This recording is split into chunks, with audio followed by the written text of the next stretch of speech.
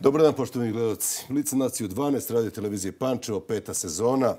Navikli ste već da nedeljom u u idemo u standardnom terminu. Iako je ovo, videli ste, izborna značka, znači izborne su emisije. Znate da uvek na neki način drugačije predstavimo mog gosta, zato što kroz ovih pet godina svi oni koji znače nešto u našoj državi su gostovali. Pretencijno to zvuči sam kad ja izgovaram. Tu izuzimam sebe naravno. Ali i svi su oni negde ostavili samim tim što su dotakli ovu emisiju i dodirnuli svakog od nas, ostavili neki pečat jer ako kažu ljudi da kogod je negde mislen i, i uman, svaka, svaka sudbina koja ga očeše negde može da ga oplemeni ako on to prepozna. Danas je dan naših sugrađana, osoba sa invaliditetom. Te apelujem na sve vas da, da obratimo pažnju. Nekoliko puta sam pričao o tome da obratimo pažnju na naše sugrađane, da pripomognemo kad smo god u mogućnosti. A, I pričao sam o tome, te čovjek kad se nađe u nekoj vrsti nevolje, do tada nije razmišljao o nekim stvarima, i to je kao opomena i onda počne da primećuje i te naše sugrađene tamo gde nema eventualno rampe za silazak kolica ili tako nešto da pripomognemo jer to svakom od njih mnogo znači, taj naš mali gest. Znate već da na samom početku izdvojim neki događaj ili ličnost koji su obeležili tu nedelju koja je za nama. Jedan događaj je meni privuku pažnju, vi ćete mi reći ako sam pogrešio, mislim da nisam. Naime, umro je Kissinger. Kontraverzna jedna ličnost. S jedne strane imao je neke zaista poteze vezano za naš region ovde koji su bili u, u, u kontri američke tadašnje spojne politike, ali nesumnjivo da ne možemo da zaboravimo i ono što, što je vezano za Čile, za Allendea, za a, još neke zemlje, pre svega Bangladeš, Laos, bombardovanja. Sporna je i ta Nobelova nagrada, ali ćemo i o tome nešto tokom današnje emisije. Moja, a i vaša današnja gošća je Marina Raguš, član predsjedništva Srpske napredne stranke. Marina, dobrodošla kod mene u program. Hvala na pozimu i bolje te našli.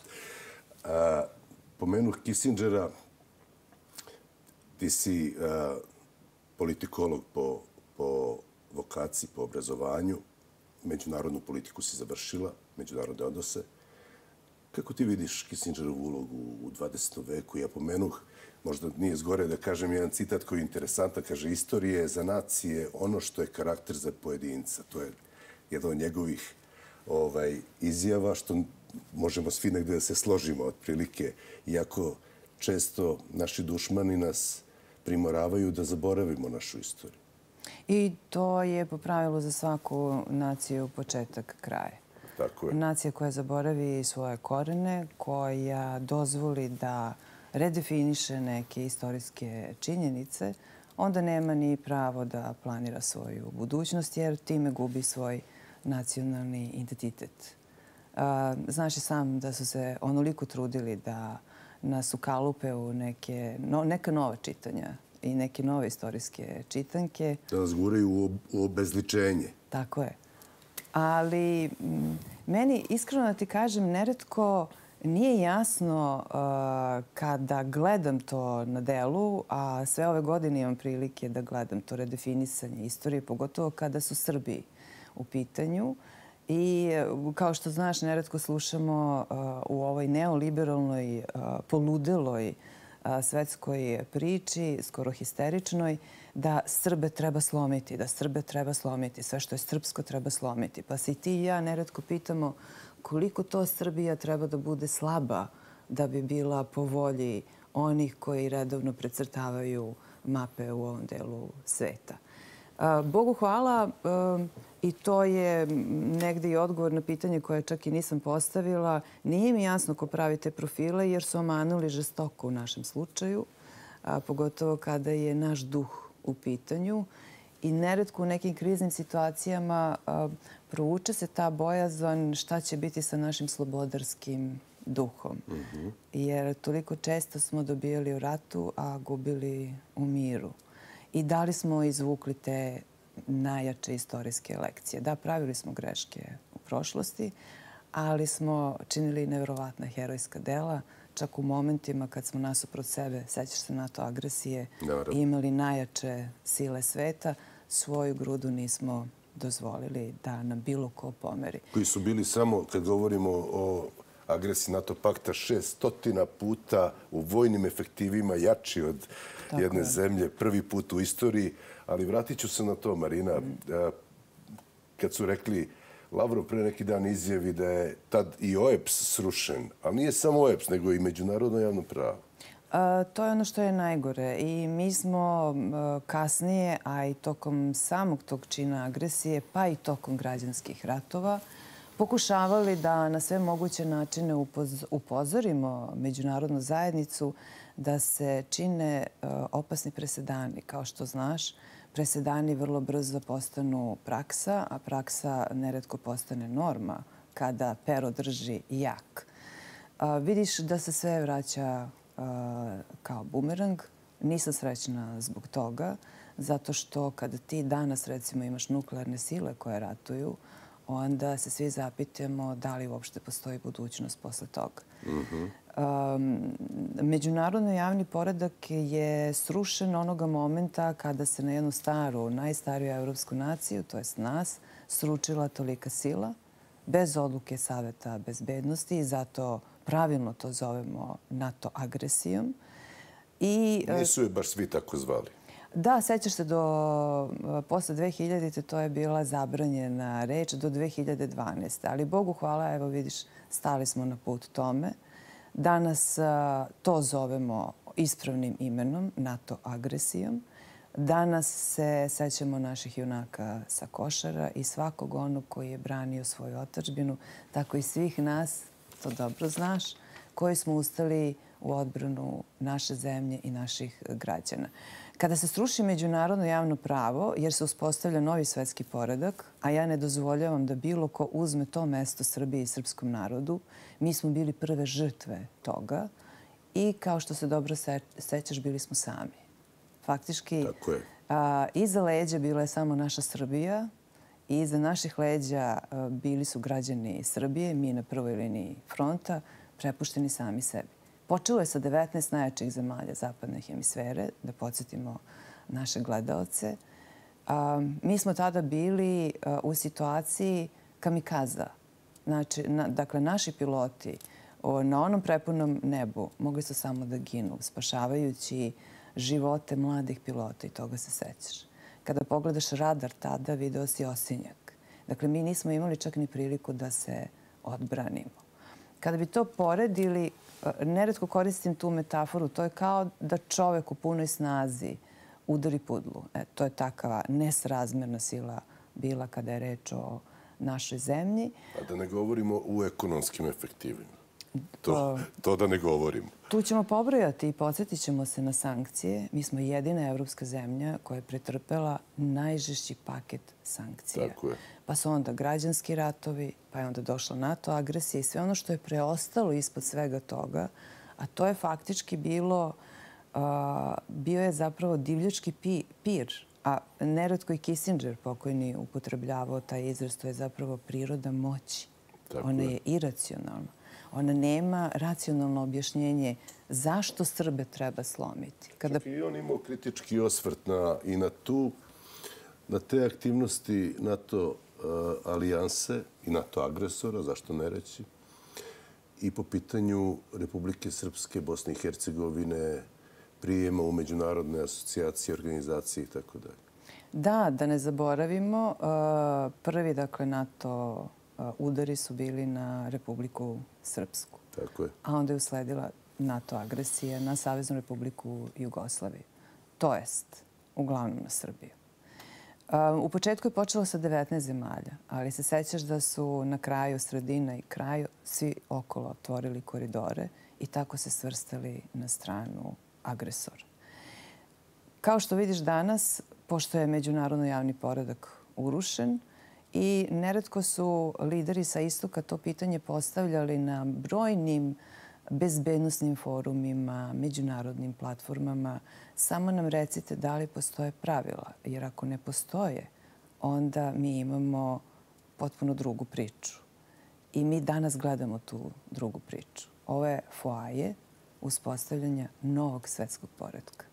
Mi, dakle, nemamo jednu silu, a nekako i život, pričali smo o u, dok smo se pripremali za ovu emisiju uh, Henrya Kissingera, koincidira sa tom dominacijom.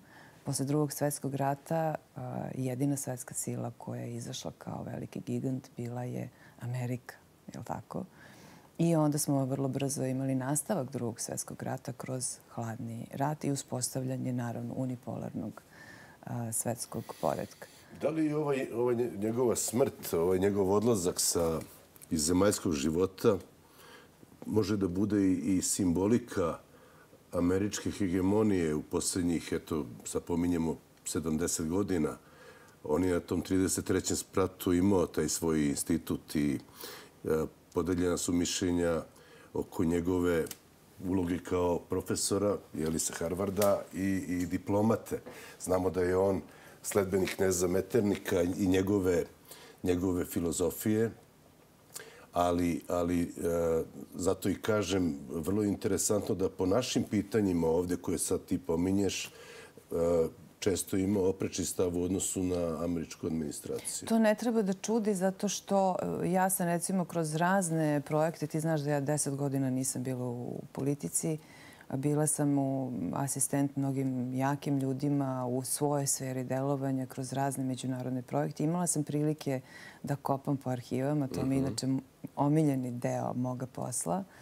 I e, možda ćeš se iznenaditi, ali ono što državna administracija američka uradi pa donese odluku, neredko se razlikovalo recimo od obaveštajnih e, procena. Mhm. Kao i od e, mnogih analiza velikih profesorskih imena, pa između ostalog i Henrya Kissingera, da ne pominjemo ostale, kada je reč o brojnim krizama.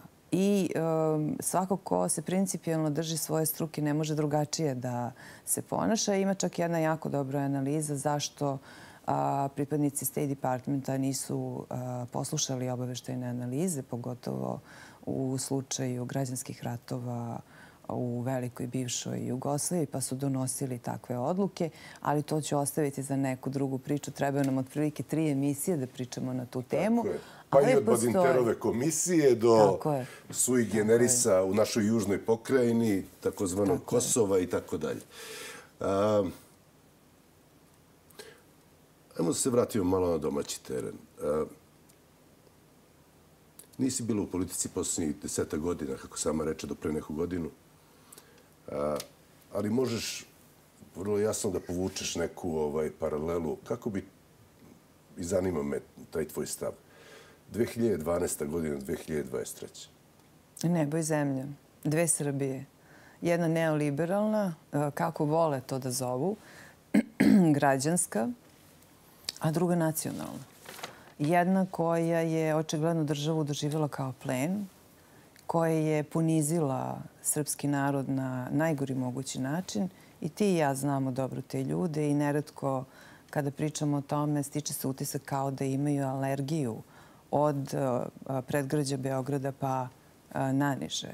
Iako mi pokušavamo da im kažemo da Srbija nije Beograd, da je Srbija mnogo više. Imali smo prilike da vidimo rastakanje Srbije po šavovima u svakom pogledu, od ekonomskog, privrednog, vojnog, Sećaš se da su tenkovi bili prodavani kao sekundarne sirovine um, nacionalnog, istorijskog. Naše domaće i fabrike i javna preduzeća bila su potpuno uništena. 2012. ti imaš situaciju... Ostao je bio vojni orkestar, ja to često pominjem. Tako je. Ti imaš situaciju 2012. da nasleđuješ državu koja je A, tada je bio izazov isplatiti penzije. Na računu 80 miliona evra, za penzije ti treba 400 miliona evra. Imaš dakle situaciju da su zakatančene fabrike, sećaš se u velikoj bivšoj Jugoslaviji, gradovi su nastajali oko fabrika, oko rudnika, ti gradovi, regioni su živeli. Nažalost, mi smo zatakli situaciju da su oni nama na budžetu, da su ti ljudi dobili otkaz početkom 2000-ih, samo im to niko nije izvanično saopštio. Si imala utisak, Marijana, izvijeni, takva emisija, pa ćemo glasno da razmišljamo i ti i ja, da sve što je moglo da se derogira, devastira, sve je učinjeno na rastakanju substance. Od banaka, od substance privrede, od vojske, zdravstva, obrazovanja. Tako je. To su činjenice, to nije utisak. To su zaista činjenice. Ti si imao situaciju posle 2000-te da tvoji su narodnici koji dolaze na vlast, dakle, vi ste politički neistomišljenici, ne ste politički neprijatelji. Eh, ne bi trebalo da budete neprijatelji ovog naroda. A s obzirom da su oni dovedeni na tom talasu, jer je ideja bila srušiti taj režim, sećaš se koliko je stotina miliona dolara uloženo u tu priču eh, rušenja legitimnog i legalnog izabranog režima. Pa to piše ti maršal u krajnjoj liniji. William Montgomery. Tako je. Malo im ispadalo iz Segedina po ulici i tako dalje. Tako je. I kada imaš tu situaciju, onda nedugo zatim imaš ilustraciju političkog, vojnog i policijskog vrha. Oni su kao paketi bili slani pred Haški tribunal. Imaš 2003. užasan događaj ubistvo srpskog premijera na ulicama Beograda. Iako se nikada nismo politički slagali, ja mislim da je to užasan moment za srpsku istoriju. Ali kada, Marina? Kada? Tad kada je sedam dana ili deset pre toga dao onaj vrlo indikativan intervju u Banja Luci. Jeste, to je bio njegov Kada je došlo do njegovog možda i nacionalnog osvešćivanja. Sećamo se i njegovog e, akcije oko završetka hrama. Ne smemo da grešimo dušu i da ne pomenemo sve te stvari. Ali kao da je pred kraj e, kada je rekao u jednoj rečenici, baš u tom intervju, parafraziram, ne možemo čekati State Department da, da se nakani da, da vidi šta će sa Kosovom i Metohijom. Moramo mi da idemo u susret o problemu i da rešavamo. Otprilike tako. A, tako je i sećaš se da tada ministar unutrašnjih posla ubijen je premijer u tom mandatu. Ministar je bio Dušan Mihajlović. Nije smatrao da je preko potrebno da podnese ostavku jer direktno odgovara za ubistvo premijera. Ne on lično, ali on je bio u njegovi nadležnosti, je li tako?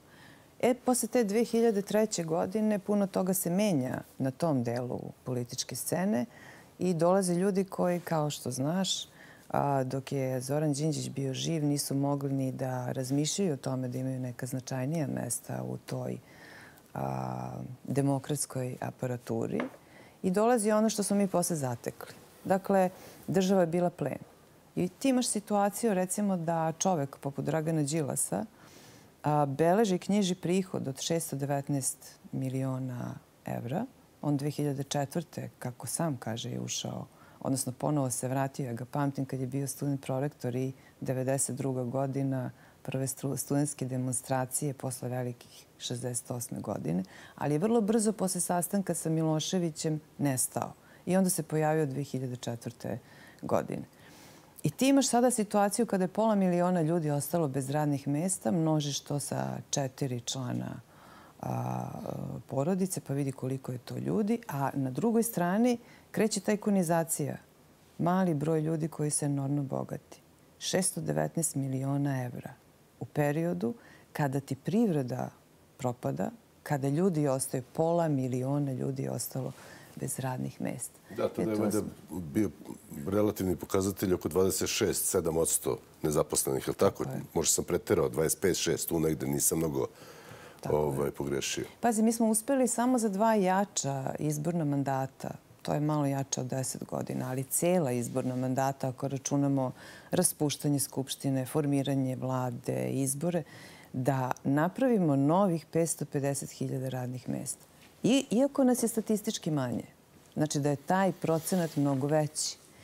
Ali ne samo to. Mi smo zapravo stali zavrat jednom procesu koji je pretio da poništi srpski narod, da izbriše mnogi značajne lekcije iz istorije, da poništi sve ono što je imalo prefiks nacionalnog.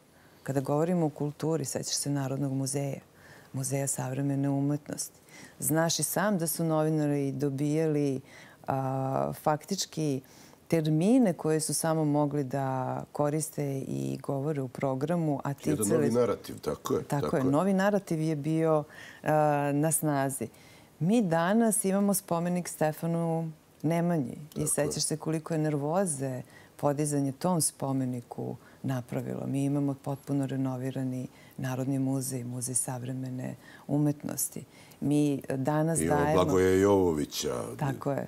Mi danas nazivima ulica, naše ulice krase imena naših, kao i autoputeva, naših čuvenih vladara. Dakle, vidiš nacionalnu istoriju i naše nacionalne uspehe na svakom mestu, jer je to deo, vrlo važan, vitalan deo kulture sećanja, odnosno nacionalnog identiteta. Tako je. I sad kad kreneš da praviš taj mozaika, krenuli smo sa Kissingerom i sa nečim što prepoznajemo kao američka... A to je ta kauzalno. Sve ima veze sa svim. Tako je.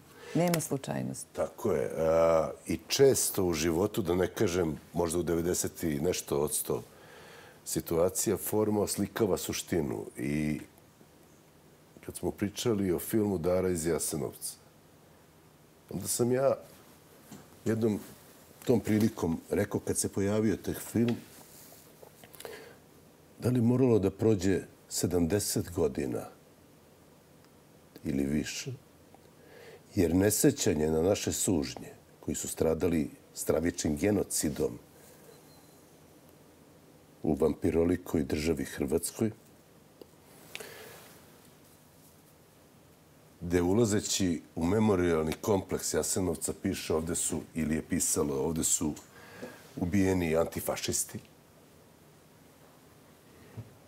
baki, deki, deca sa kozare nisu znali šta je fašizam i antifašizam. Njihovo jedino obeležje je bilo nacionalno obeležje, što su bili Srbi i kao takvi su postradali u Jasenovcu. Naše nesećanje, i tu se ja slažem sa tobom, jedan kroz jedan, je ponovno ubijanje.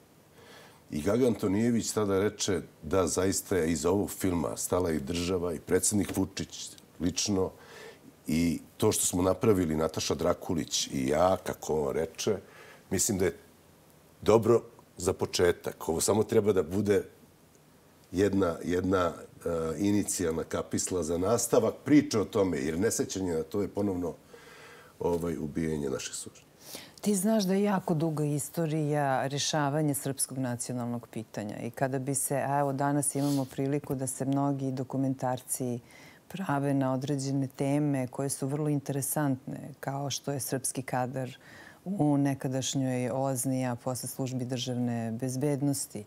Ehm, razlike između Srba Jugoslovena i Srba samo Srba velike obračune među srpskim kadrovima. I onda ne treba da te čudi uh, rešavanje srpskog pitanja na štetu srpskog naroda, s obzirom da su se u staroj Jugoslaviji dobro potrudili svi ti krugovi, da sve što se dešava mora da bude na štetu srpskog naroda. Srpski narod je u glavama tih ljudi uvek bio problematičan. Problematičan iz više razloga mhm. za njih.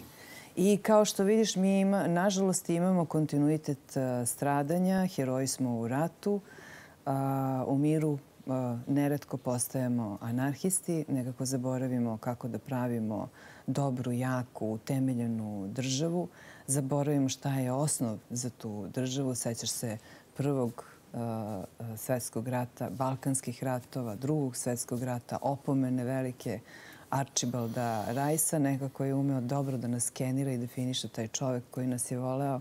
Ja verujem više od nas samih. Tako je. Čujte Srbi. Evo tako. Čije srce sahranjeno na Kajmak Čalanu. Čalanu. Tako je. tako je.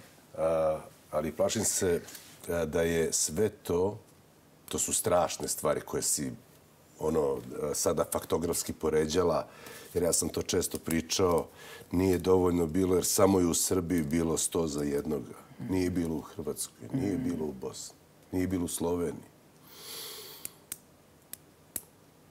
Pa nije to dovoljno, nije dovoljan Jasenovac, nije dovoljan Srenski front, kada srpska mladež i beogradska gine. A i ako To, se to sećaš... snoplje. Da. Pa, pa goli otok gde mahom Srbi i Crnogorci i po nekim musliman ovaj, prolazi Golgotu.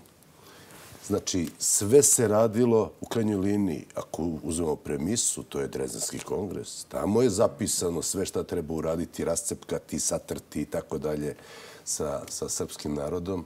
Gde mi, Marina, Nažalost, to nije samo Titova izmišljotina, on je samo kontinuitet, jer je naš nemiro pomazani, nekrunisani kralj Aleksandar nas je uvuku u tu avanturu, praveći kraljevinu SHS, gde smo do jučerašnje dželate abolirali, one koji su po mačvi i podrinju počinili najstrašnije zločine u prvom ratu, gde je Tito prepisao tu matricu u drugom ratu, gde je Marka Mesića i oko 60.000 Ustaša presvuko u partizanske uniforme koji su činili najstrašnije zolume po Srbiji. Da netom posle drugog rata, 45. i 6. godine, pretpostavlja se, pa čak postoje i neke, znamo svi za masovne grobnice na teritoriji Beograda, ispod stadiona, ispod parkova i tako dalje. Nisam želeo da ova priča ode u ovom pravcu, ali kako zaključi smo, sve ima veze sa svim. Tako je. Tako da, a, Marina, kao da je koncept ceo bio, a pozvao se malo pre na Drezdenski kongres, naravno, da nas, da nas rascepkaju i, i zatru. I zato mislim da sa pravom i ti i ja i, i mnogi kolege iz drugih redakcija moramo nanovo da pričamo o tim vremenima. Jer ako jeste istorija magistra Vitajes, a mislim da sve ide u nekim ciklusima, a da ne odem u teoriju zavere.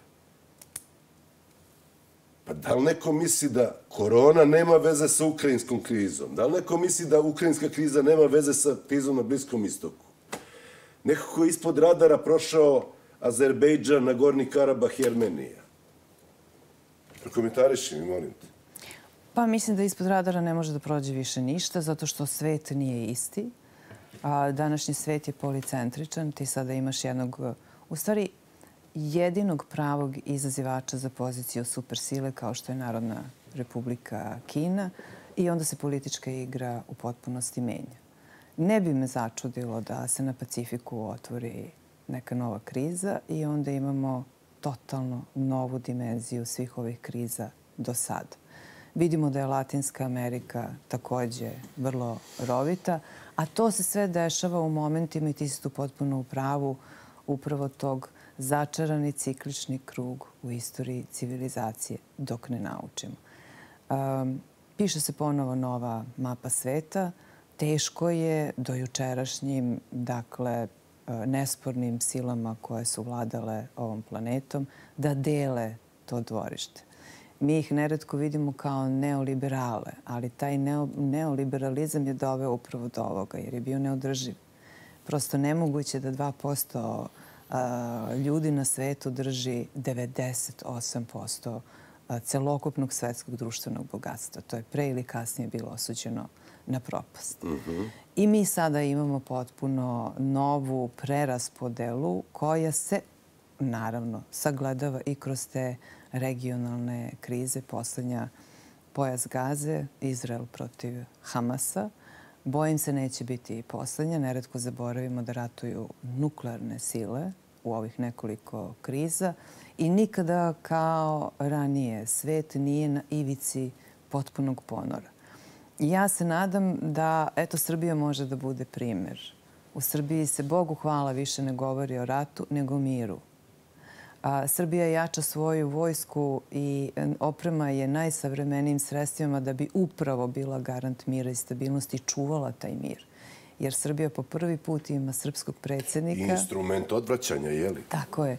Po prvi put ima srpskog predsjednika kojeg nije imalo posljednjih, pa boga mi, skoro sto godina koji ima sjajno iskustvo, da, građanske ratove 90-ih, da NATO agresiju, političku lustraciju posle 2000. godine, koji izrastu u jednom momentu, kako ti neretko umeš da kažeš, kliknu u državnika, čoveka koje, kao što si imao prilike pre neki dan kada je bio u Dubaju, da vidiš da strani novinari čekaju u redu da uzmu izjavu od njega, koji na fantastično dobar način u ovoj geopolitičkoj kaljuzi, kako bi to neki mnogo umniji od mene nazvali, ume savršeno dobro da pliva i gleda da provuče ovaj srpski brod.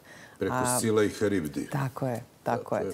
I nadam se da, eto, mi kao mala zemlja, ali sa dugom tradicijom i herojstva i užasnog stradanja, u ovim previranjima možemo da budemo svetli primjer kako se dostojanstveno brani i suverenitet i nacionalni integritet, o teritorijalnom da ne govorim, pogotovo sa problemom kakav imamo u svojoj južnoj pokrajini Kosovo i Metohiji. Srbija današnjica je ekonomski oporavljena, postavljena na svoje noge. Sve što smo uspeli u ovih eto, malo jače od deset godina da napravimo jeste da spojimo prelepi sever sa prelepim jugom svoje zemlje, istok sa zapadom, da paralelno gradimo i autoputeve i brze pruge. Da nam je neko pričao, recimo 2012. da ćemo imati voz 200 km na sat koji će nas voziti do Novog Sada za 33 minuta, verujem da ne bi ni ti ni ja verovali jer smo gledali poharanu zemlju i stavljenu u nečije džepove i tija te 2012. godine. I da ćemo imati ovakve odnose sa Mađarima. Tako je. Zahvaljujući, naravno, odličnoj vezi i pokojnog Ištvana Pastora, predsjednika Vučića i Orbana. To su ti, sad evo pominjem Orbana, ali dobro, kasnije ćemo malo i o tim disonantnim tonovima unutar Evropske Evropske zajednice. Ja te malo prepitah, ali ajmo, e, kad si načela već ove unutrašnje političke stvari, da se nadovežim još na jednu. Trebalo je zaista imati, što bi mladi rekli, herca ili srca e, za fiskalnu konsolidaciju, sećaš se 14. i 15. godine. Mnogi sad izlače neku paralelu da je možda Evropska centralna banka pre godinu ili dve, znači pre ovog ukrajinskog nažalost, pravoslavnog rata, nažalost, opet kažem, jer kao da je neko želeo da... Dva pravoslavna naroda. Dva pravoslavna naroda, da ne kažem možda i jedan, da ne kažem i bratoubilački. Iako znamo za Malorusiju, Belorusiju i Rusiju. Ovaj, I onda se često setim Bžežinskog ovaj, i Karla Bilta da je pravoslavlje zapravo sledeće posle Berlinskog zida, ali da ne idemo sad u paranoju i neku teoriju zavere, pomenu fiskalnu konsolidaciju. Bez toga ništa ne bi od ovoga bilo moguće. Naravno, i bez izvanrednog razumevanja naših najstarijih sugrađana. To su ljudi koji su, svakako i ti i ja, po našim roditeljima, bakama i dekama, to jako dobro znamo, prijateljima, prošli brojne krize jako dobro razumeju državu. I nesebično u kriznim momentima umeju da pokažu neverovatno razumevanje pod pretpostavkom da ih lider te zemlje ne obmanjuje. A do sada smo imali prilike da gledamo obmanu za obmanu. Sećaš se da je predsjednik Republike naše Vučić nekoliko puta spomenuo da su čak i evropski lideri pričali sa njim kako je uspeo da fiskalno konsoliduje zemlju, jer oni to ne bi mogli da provedu, a hteli su, bilo je neophodno u svojim zemljama. Ali mi smo upravo zahvaljujući izvanrednom poverenju naših penzionera uspeli da u momentu kada imaš bankrotiranu kasu stanemo na nogi. I kao što vidiš sada, mi već imamo švajcarsku plus formulu, penzije polako li sigurno rastu, ta povećanja sada isplaćujemo iz realnih izvora, iz onoga što zaradimo, kao i povećanje plata. Kao i ulaganje u društvenu nadgradnju, i u prosvetu, i u zdravstvo. Ja sam često tvrdio, to je poznata teza, da država mora da obezbedi zdravstvo i prosvedu, što će reći vitalnost nacije i budućnost nacije.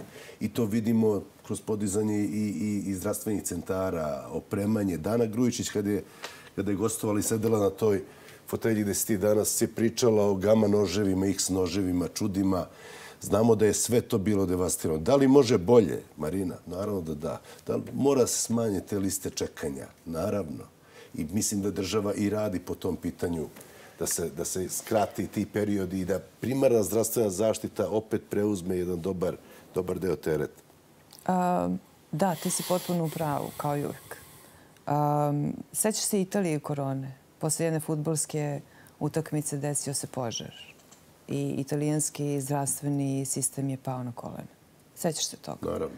Sticam okolnosti, ja sam tada bila u jednom značajnom međunarodnom projektu i bila asistent baš i čuvenom italijanskom, nažalost pokojan, novinaru Giuseppe u Zakariji koji je puno mhm. volao ovaj narod i puno volao ovu državu. A, mi smo bili e, zgranuti činjenicom da e, se desio zapravo takav raspad tako razvijenog zdravstvenog sistema. I desilo se nešto što nijedan lekar ne želi da mu se desi u njegovoj praksi, o čemu uči na fakultetu. Boga moli da ne bude u prilici to da primeni, ali zbog nemogućnosti da dopru do respiratora, nemaju pojma o čemu se radi, mali mikroorganizam, nije pleonazam, ali zaista je tako, e, objavi rat. Vi nemate respiratore, konzilijom lekara treba samo za jednog pacijenta, jer to je sistemska bolest. I onda su lekari bili u situaciji da skidaju stare ljude sa respiratora, da stavljaju mlade ljude da odlučuju o tome ko će da živi. Pa sad mhm. možeš da zamisliš čoveka koji je lekar, setovan da spašava živote, a on je u situaciji da... Da mora da odluči neodlučivo. Tako je. Nekoliko tih lekara i medicinskog osoblja je na kraju sebi okončalo život, jer to je preveliki teret za takve ljude. A vidiš, naša Srbija je uspela vrlo brzo da se snađe. Um, sjajan ministar zdravlja, tada Zlatibor Lončar. Mi smo vrlo brzo preveli naše zdravstvo u ratne uslove. To je naše ratno iskustvo. Zahvaljujući predsjedniku Vučiću sjajnim odnosima sa Xi Jinpingom i Narodnom republikom Kinom, mi smo vrlo brzo dobili i vakcinu, zaštitnu opremu. Sjajna Jelena Begović, sada i ministar nauke, tada sećaš se laboratorije Vatreno oko mi smo u realnom vremenu mogli da testiramo ljude koji su imali virus korone. I ono što se tada paralelno odvijelo, pored nabavke respiratora, to je bilo ravno trileru. Sjećaš se da i ono kad smo platili, nismo bili sigurni da li ćemo uspjeti da dopremimo respiratore. Respiratori su se otimali. Um, slomio se svet, Marina. Tako je. Nije bio pobjegli solidarnost. Znači, ja kad sam pričao, e, ponavljam se, izvinjam se gledocima, ali imam potrebu to da ističem. Pored sve muke, gde smo mi plivali, sad sa ove distance vidimo fantastično. Jer to sam razgovarao, ti znaš ko su moji gosti bili u, ovih pet godina. Da kažem, svi ste misleni, umni ljudi. Opet kažem, tu izuzimam sebe. Ovaj, mi smo čak pomogli Italiji prvi posle Kine i Rusije. Tako je. Sa osam aviona. Medijske Bergamo konkretno, tako? Znači, jer svi ste se složili u jednom da je zapravo u centru našeg zdravstvenog sistema, bežimo od jeftine patetike, ali ipak moram da kažem čovek. Tako je. Tamo je ipak profit. Tako je. Ne kažem da tamo da padne neko na ulici, da mu neće okolina pomoći. O, nisam sigurna. Ali, eto, živjela si tamo. Ne, nisam sigurna. Ali će u bolnici da ga pitaju, molim vas, vaše osiguranje. Ako, ako dođe svest. Tačno. Ovdje te niko neće pitati. Ljudi čak nisu morali da imaju zdravstvenu knjižicu. Svi su bili primljeni i lečeni. Nama se 90.000 ljudi u godinama korone vratilo u zemlju, nisu mogli se leče.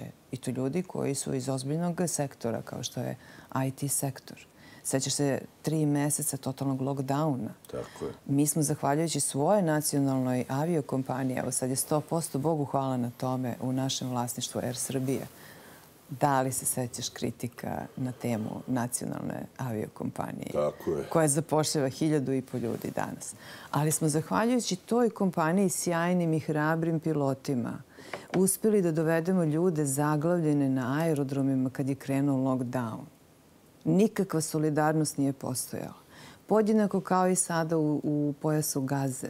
Mi smo bili jedna od redkih aviokompanija koje svoje ljude evakuisali. tako je, evakuisala i dovela u Srbiju. I ono što je meni bilo neverovatno, znaš, ja sam najduže bila pozicionar.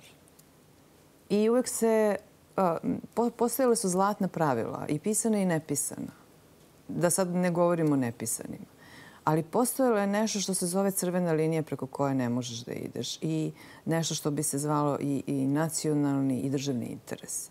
Znači, iznosiš svoj politički stav, ali kada je zemlja u krizi i kada znaš pod kakvim se teretom zemlja nalazi, pa nemoj joj odmagati, pomozi joj. Ajmo da prebrodimo svi leđa o leđa, pa kada dođu mirna vremena idemo u političke borbe. Tako. tako ja ovo nisam videla. To moram da ti kažem. Evo, u svojoj političkoj karijeri, čak eto i tako iskustvo po, po nekim drugim zemljama, ja to nisam videla. Ti ne možeš da čuješ Francuze da kritikuje svoju zemlju u našoj zemlji. On će otići u svoju zemlju i reći to Makronu što treba da kaže. To je nepisano pravilo. Dobro, to je elementarno vaspitanje. To je nepisano pravilo. A... O svojim roditeljima možeš da pričaš samo pod krilom svoje kuće. Naravno. Vam kuće svoji tvoji roditelji. Pazi, mi smo u periodu korone odlučili primjer radi da subvencionišemo svoju domaću privredu. Znaš, ti malo staneš na nogi, dođe ti takva kriza. Lanci snabdevanja su bili prekinuti. Sve je bilo prekinuto. Mi odlučimo u tom momentu, u redu, subvencionišemo domaću privredu i naše građane.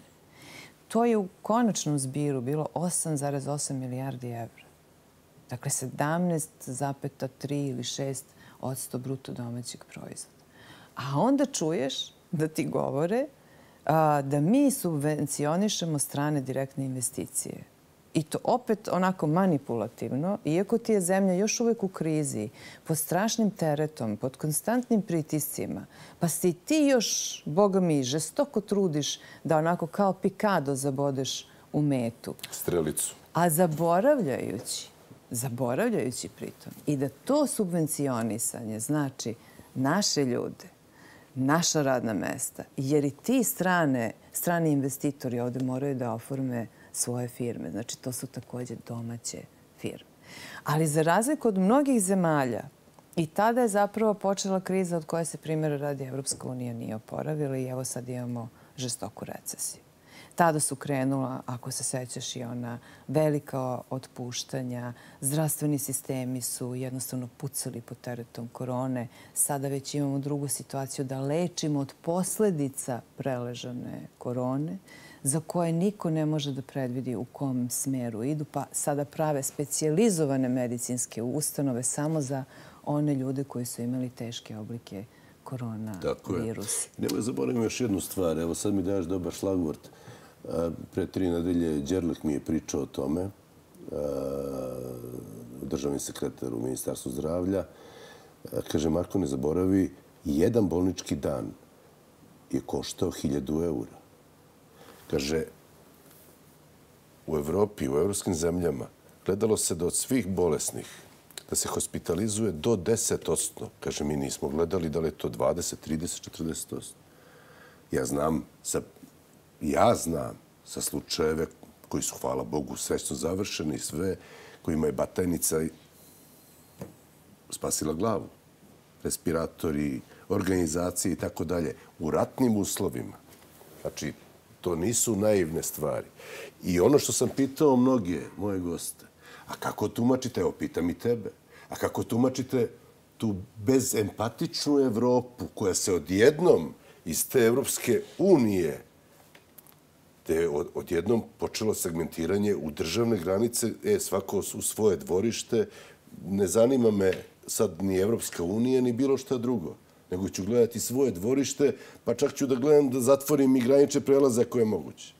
I tako je svaki put u periodu krize. Tako je. Tako ti je bilo u periodu migranske krize, koja je također i nas uh, zahvatila pre korone, toga se sećaš. Svako je gledao samo svoje granice. Primjer radi, tad je Orban prvi ustao i rekao u redu, e, ja sada pišem svoje pravila, jer ja sam naučio mnoge istorijske lekcije. Mi ćemo tek da vidimo šta je ta migrantska kriza donela i o kakvom inženjeringu je reč.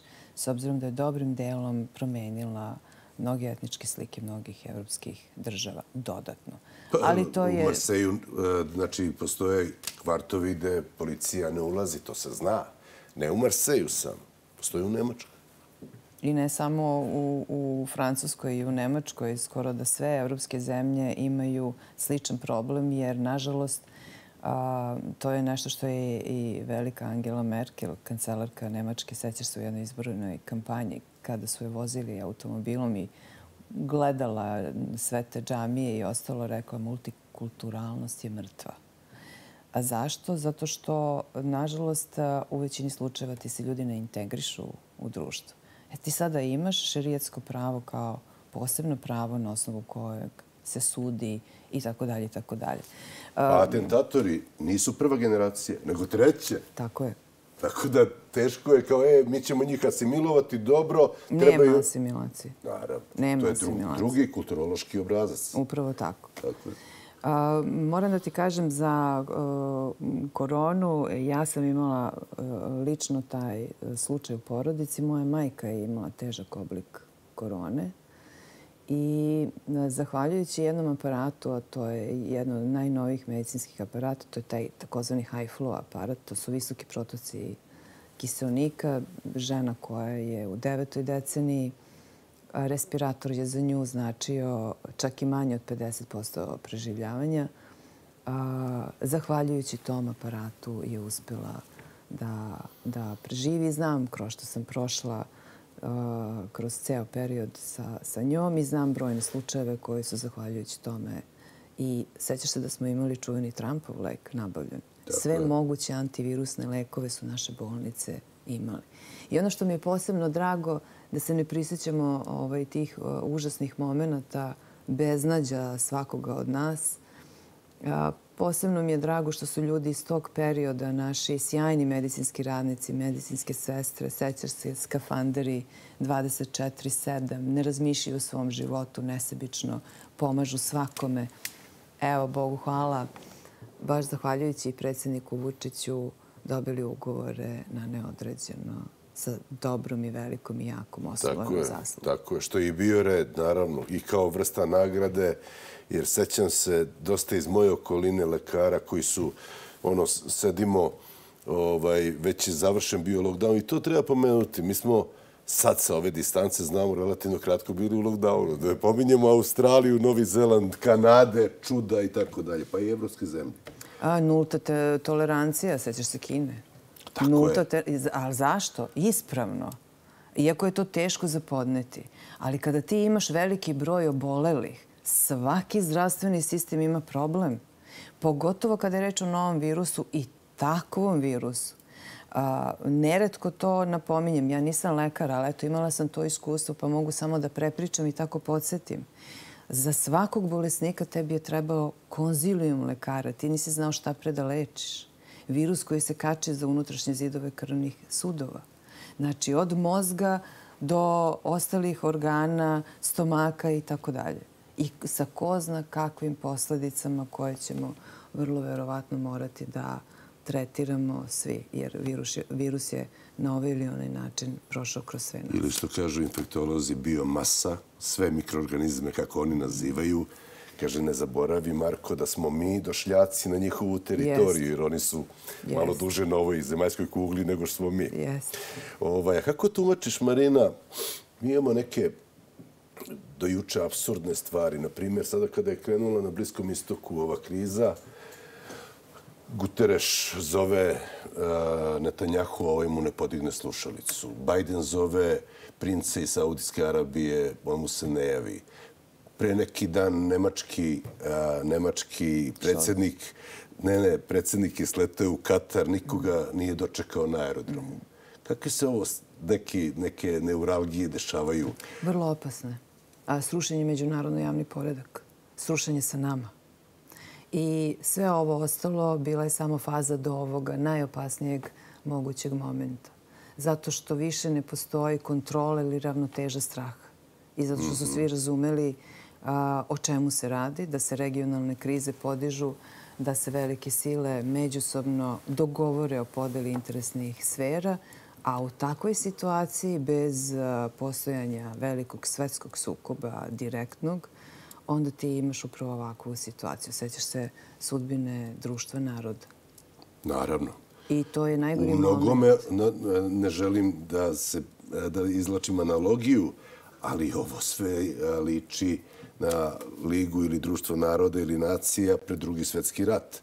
Mi sad pominjemo neke neuralgije, pa nemojmo zaboraviti ni prvi ni drugi rat nije krenuo frontalno u globalnom smislu, je tako? Nego isto krenuo od regionalnih nekih sukoba. Da, to su sve znakovi kraj puta, međutim sada su naoružanja takva, kao što rekoh, je o nuklearnim silama, ne mogu ni da zamislim šta može da se desi samo da recimo pritisak bude veći i da mogućnost opstanka recimo određene nuklearne sile znači da će neko potegnuti taktičko nuklearno naoružanje. E onda mi imamo potpuno novu dimenziju u razmišljenju. Još, si htjela nešto izvoliti? Ne, ne, izvolite. Ovaj, I još jedno pitanje, e, pre nego što pogledamo tvoj TV portret. Ako poredimo neke parametre, evo, prekjuče sam čitao GDP E, Amerike raste, znači bit će u plusu do, do kraja, evo još mjesec dana.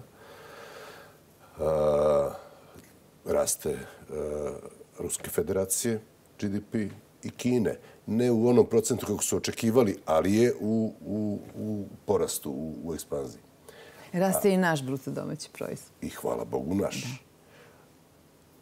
Ali je Evropa u recesiji. Nemačka je sa četvrtog mesta globalno skliznula na deseto. Da ne govorimo o mediteranskom pojasu Italije, Portugalije, Španije, Grčke, Centralna banka Evrope i drži, ako znamo da su preko Italije, konkretno preko 160% e, GDP-a imaju u javnom dugu, što je havarija, da nema centralne banke i tako dalje. Je ovo udarac zapravo na Evropu? Pa kad pogledaš mapu sveta, čini se da jeste. Nekada davno važilo je pravilo e, svako ko želi da upravlja svetom mora da upravlja Evropu starim kontinentom. I nekako Evropa je, što bi rekli Nemci, špigl, ogledalo mnogih e, geopolitičkih dešavanja. A gdje je Evropa da je gola Willy Brandta pa, pa do Angele Merkel? Ti je pomenu malo pre ostavljeno u nekoj prošlosti, nažalost. E, premda vidim procese koji se prisjećaju e, tih lepih istorijskih momenta i to je zapravo narativ koji je i dalje aktualan i vrele se diskusije oko toga vode u samoj Evropskoj uniji. Da li Unija želi kao klub najbogatijih i najrazvijenijih države sa svojim suverenitetom ili države koje će pokloniti suverenitet nekom volšebnom telu koje će obskurno da upravlja i donosi odluke. Mislim da smo sve bliži ovom, kako bi ti rekao, degulističkom konceptu Bogu hvala. Dakle, države, nacije. Suverenih, suverenih država i nacija. I vidiš otprilike manje više vrlo jake baš u tim tradicionalnim evropskim zemljama, baš zbog kojih se i napravio taj krug e, da bi se neka neprijateljstva tradicionalna između njih, jer sećaš se, početak je bio mir, prosperitet, stabilnost, očuvanje mira. Tako je. E, tako su krenuli. E, tako da se nadam u perspektivi da ćemo sve češće da govorimo e, o miru, o prosperitetu i budućnosti i da će suverenistički pokreti, jer to je opet taj ciklični krug u našoj istoriji civilizacije, zauzeti mesto kojim pripada i da ćemo ipak e, ponovo se posjetiti šta su to međunarodno javno pravne norme. I ne smemo da dozvolimo da nam neko isklizne iz ruku upravo naš primjer, jer smo jedna od redkih evropskih zemalja i ja to uvek sa ponosom ističem, koja donosi suverene i samostalne odluke, kao što znaš, iako je naš predsjednik Vučić pod konstantnim pritiskom primjera radi da uvede sankcije Rusiji, da smanji intenzitet saradnje za početak sa Narodnom republikom e, Kinom. Mi smo kandidat za članstvo u Evropskoj uniji, nismo politički neutralni, ali kao što vidiš, ljubomorno čuvamo svoja tradicionalna prijateljstva zato što nemamo luksuz jer Srbija ne sme da stane. Možemo pogledati tvoj TV portret? Kako ti kažeš? Kažem da da. Marina Raguš rođena je 8. jula 1969. godine u Beogradu. Završila je 12. u Beogradsku gimnaziju, a zatim upisala Fakultet političkih nauka Univerziteta u Beogradu. Diplomirani je politikolog za međunarodne odnose. Za vreme studiranja se istakla kao borac za prava studenta, pa je ubrzo postala student prodekan. Radila je kao novinar, voditelj i autor u nekoliko redakcija Beogradskih novina i radio-televizijskih stanica.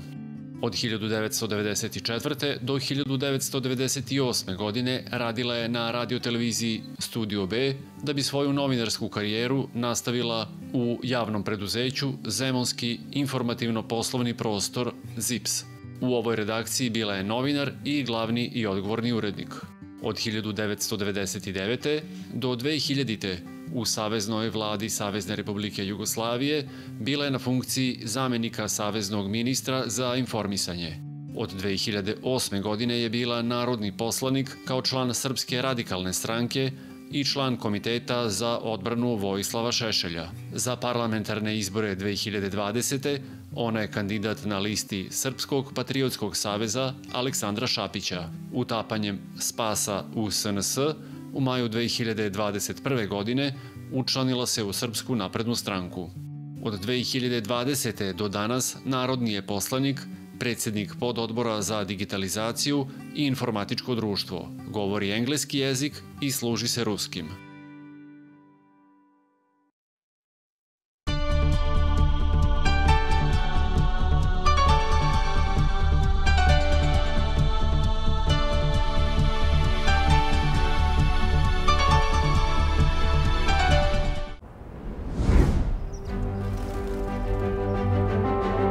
Mogu da vam kažem da je grad eh, puno uložio ovaj u infrastrukturu.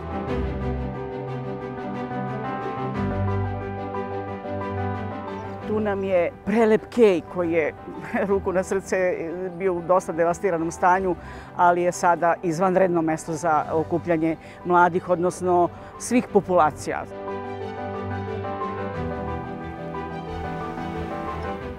Pančevu se dosta investiralo što se tiče saobraćaja, znači postavilo se kružni tokova, imamo dosta biciklističkih staza, pešačkih prelaza, što je dosta ovaj, uticalo za naš brži dolazak do adrese putnika. Dosta često sam išao i u servis, znači puno rupa je bilo po ulicama. Ulica je bila zapuštena, puna rupa, puna bara kad je kiša, E, trotoari nisu bili prohodni, pogotovo za nas koji imamo malu decu, kolica i, i sve te prateće stvari, tricikli, bicikli nisu mogli da se voze. Sve to skupa čini život boljim, lakšim, naročito našim penzionerima koji nemaju velike prohteve, ali zato umeju da primete ovaj, sva ta dešavanja i koja ovaj, su znatno e, bolja bolje u odnosu na sve ovih godina. Ljudi su naša snaga.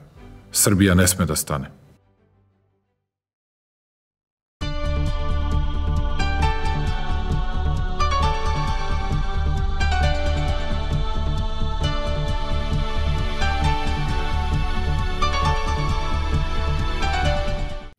Lice nacije u 12, radio televizije Pančevo, sam finiš moja, a i vaša gošća, Marina Raguš, član predsjedništva Srpske napredne stranke, najmanje smo pričali o izborima.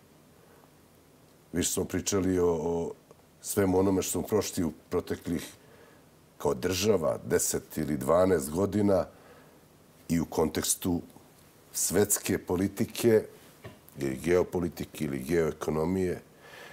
Reci mi, Marina, da li je istinita teza da je softver u londonskom sitiju, hardver u Vašingtonu, a štampač u Briselu? Tako neki kažu. Sve priliče da jeste.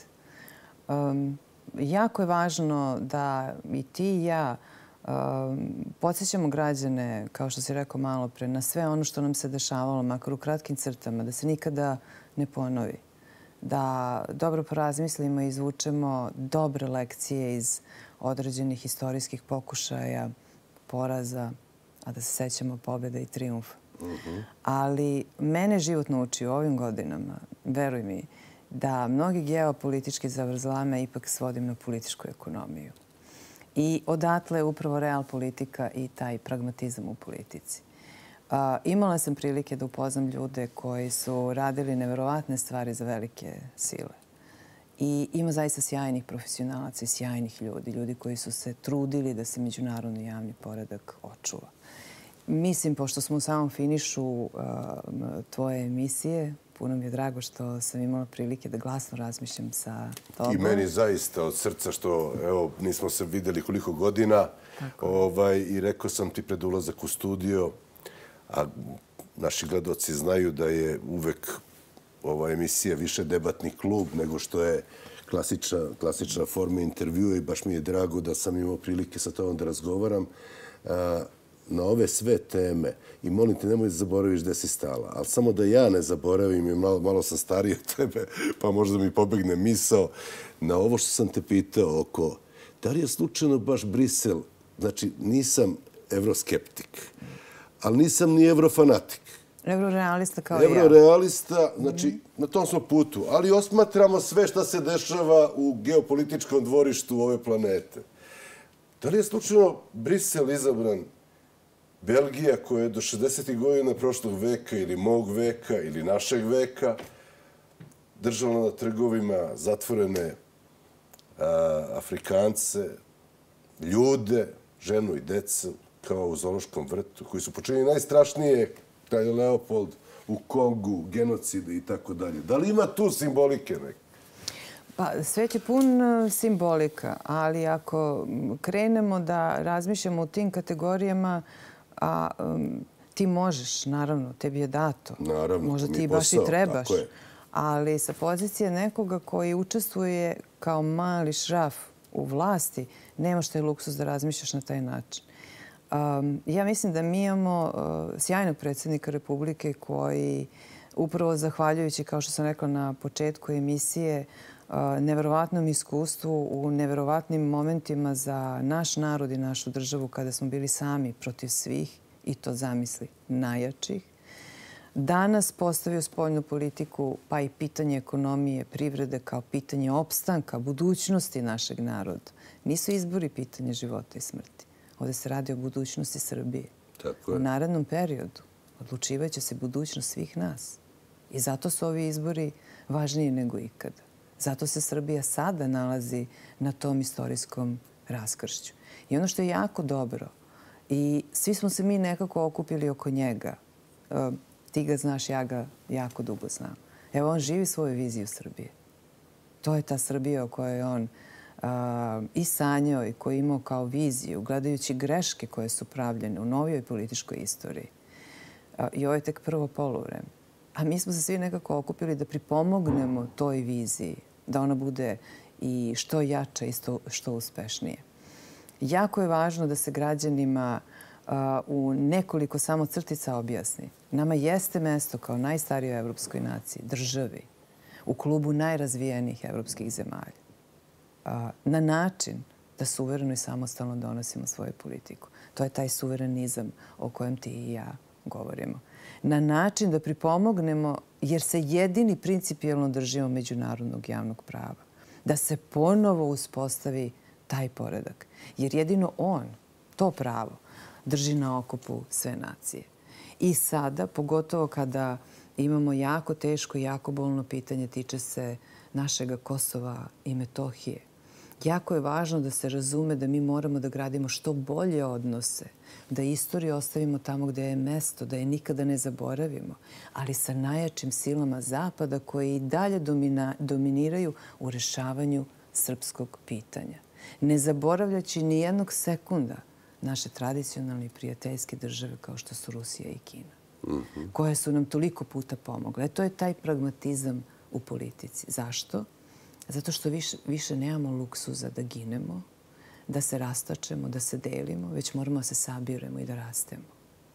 Ukoliko nemaš dovoljan procenat nataliteta, ti nemaš svoju budućnost. Ukoliko se ne sećaš svoje prošlosti, ti ne možeš da izgradiš budućnost. Ali u ovim uh, smutnim geopolitičkim vremenima, ako zaista misliš dobro svoje naciji, onda moraš da je vodiš ovim putem, putem kako je to Aleksandar Vučić postavio da Srbija ne sme da stane. Ne sme da stane ni jednog momenta. Vidjet ćeš I znali smo i u koroni i mnogim drugim krizama da su svi stajali i da je solidarnost nestajala. Imamo recesiju u Evropi, na tlu Evropske unije. Vrlo opasan moment. Kad Nemačka se nakašlje, Srbija ima upolu pluće. Svi oni koji danas govore treba raskinuti taj put prijema u članstvo Evropske unije, u stvari nama kažu da žele da 100.000 ljudi ostane bez posla iz toga momenta. Nemačka ovde zapošljava 70, preko 70.000 ljudi. Dakle, jako je dobro da se razume šta se to dešava 17. decembra i kako se to referendumsko pitanje pred nas ispostavlja. 17. decembra svako od nas imaće priliku da sam za sebe odgovori kako to Srbiju želi da vidi. Da li Srbiju prosperitete i budućnosti, nacionalnu ponosnu, gdje će svaki vojnik sa ponosom da ide um, na svaki dan svoga posla, koji će znati da postoji vrhovni komadant koji ga nikada neće prodati, koji će ga zaštititi, kao što štiti svakog građanina Srbije. I mi faktički, kako to opozicija neredko ume da kaže, ili on ili mi, imamo samo dva izbora, 17. decembra.